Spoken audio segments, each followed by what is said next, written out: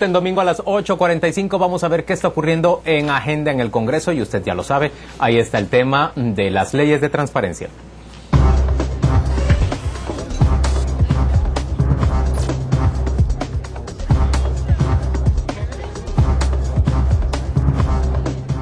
Vamos de inmediato a la presentación. El presidente mm, Otto Pérez Molina ha llevado un paquete de 11 iniciativas, 8 de reforma y 3 de nuevas leyes al Congreso de la República. Las propuestas de nueva ley son una ley para fideicomisos que no hace desaparecer sino regula los fideicomisos, una ley contra el enriquecimiento ilícito que ya es objeto de críticas y una ley del sistema de planificación y evaluación de la gestión pública.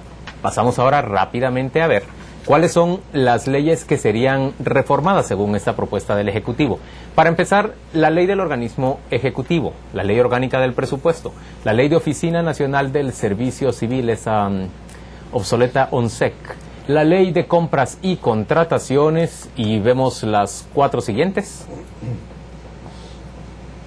Pasamos a la siguiente gráfica y les presentamos la ley de Contraloría General de Cuentas, la ley del Instituto Nacional de Estadística, la ley de la SAT y la ley de probidad. Esas son las que se han presentado como, como iniciativas para reformar en este paquete de leyes de transparencia. Luego tenemos una crítica concreta que se ha expresado en la opinión pública y que tiene que ver con la ausencia en este paquete de la ley del secreto bancario, la ley que terminaría con el secreto bancario mm, y el Ejecutivo ha respondido que esa ley no fue incluida dentro del paquete porque se encuentra ya conocida y aprobada en primera lectura una iniciativa de ese tipo presentada durante la legislatura anterior. Ellos están, dicen los oficialistas, enteramente de acuerdo con esa iniciativa y no ven razones para sustituirla por una nueva.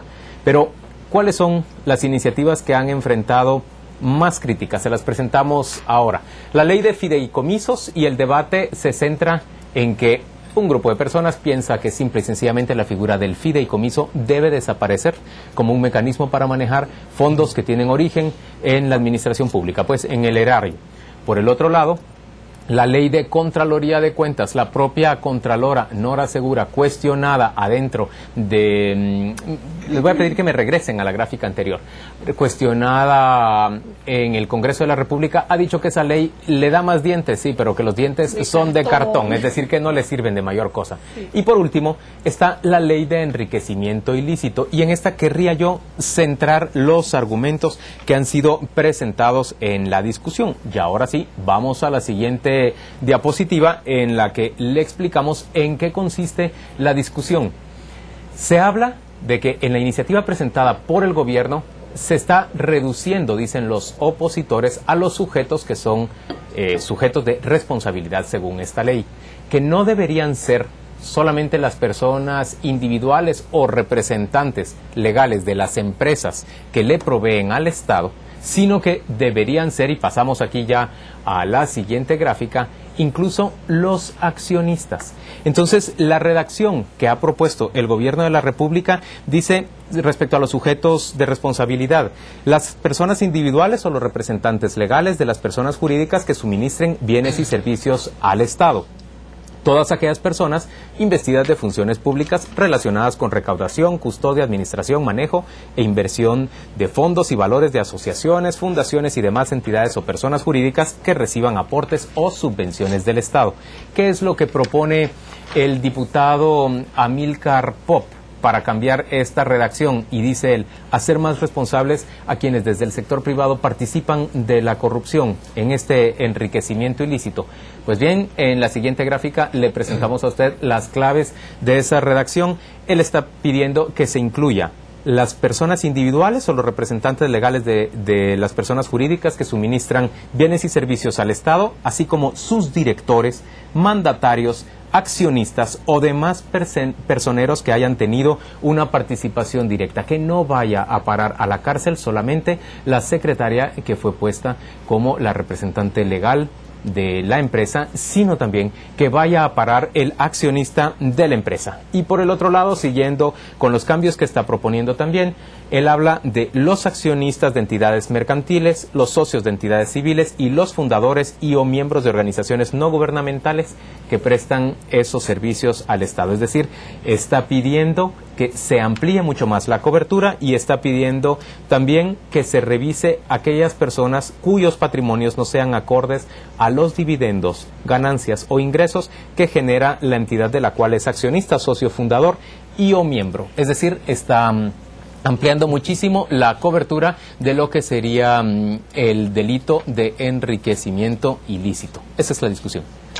Bueno, voy a tomar yo la palabra. Lo, de los fideicomisos me parece muy bien. Aquí entrevistamos un martes a alguien que estaba a favor y en contra. Parece que el fideicomiso tiene un buen sentido. El problema es el uso. Y el fideicomiso debería ser una, forma excepcional de, de manejar los fondos y no una forma normal y pareciera que hay. Yo no tengo por qué estar en contra, lo que sí, sí que tiene que haber controles, sobre todo cuando es del tema de dinero público. El tema de la Contraloría, si la propia Contralora dice esto me quita potestad, creo que habría que escuchar por qué, porque creo que, o sea, la mejor referente es ella.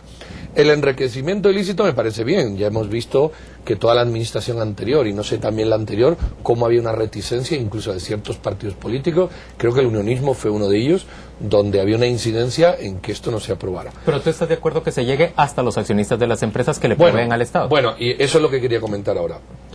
Yo creo que esta ampliación, esta base tan grande que propone el diputado Pop, me parece, me parece preocupante en el siguiente. Es como que dice, y también aquellos que no viven acorde con las rentas que tienen, eh, como que parte de una, de una, de una premisa eh, falsa. No es culpar al que se enriquece ilícitamente, sino que todo el que vive como yo sea ya es sospechoso de eso. Me parece que cambiar los términos. Yo sí estoy de acuerdo en que sea el responsable. Claro, si tú me dices a mí, bueno, es que una secretaria es responsable porque está puesta ahí. Bueno, pero a los accionistas, o sea, esto puedes, puedes construir un esquema donde yo, que me he comprado cuatro acciones para invertir, termine en la cárcel porque ni siquiera tengo participación en las asambleas y me llevan. Eh, creo que es, o sea, puede que la idea sea buena, pero escribir eso me parece peligroso eh, siendo tan amplio. me parece igual que mm, muestra, yo no sé, eh, desconocimiento de cómo pueden llegar a funcionar algunas empresas, donde los accionistas es que no son tres personas que están ahí y que además tienen eh, eh, directores marionetas. Muchas empresas mm, efectivamente tienen muchísimos accionistas, tenemos mm, modelos de empresas aquí donde hay participación enorme de gente que ha comprado acciones, pues no son muchas, pero hay y la persona y esas personas no tienen ninguna incidencia. ¿Y cómo evitamos el riesgo de que la corrupción se quede señalada y atribuida exclusivamente a, por un lado, los funcionarios públicos y por el otro lado, a testaferros o a, representantes legales?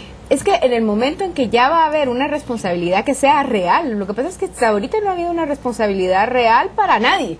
Entonces, eh, yo me imagino que un director profesional le propones hacer algo ilegal y simplemente va a decir no, porque hay un riesgo concreto de eh, enfrentar a la ley. Yo, quisiera retomar tres, tres de las críticas que hizo Acción Ciudadana con lo que se ha conocido esta semana. Por ejemplo, en las cuestiones de probidad, las declaraciones van a seguir siendo privadas, no van a poder ser consultadas ni siquiera por eh, las entidades que les interesaría conocer el patrimonio de los que tienen un cargo público. Si se trata de un paquete de transparencia, por qué esto no se está aprovechando y de una vez se discute, si ya ha sido cuestionado antes.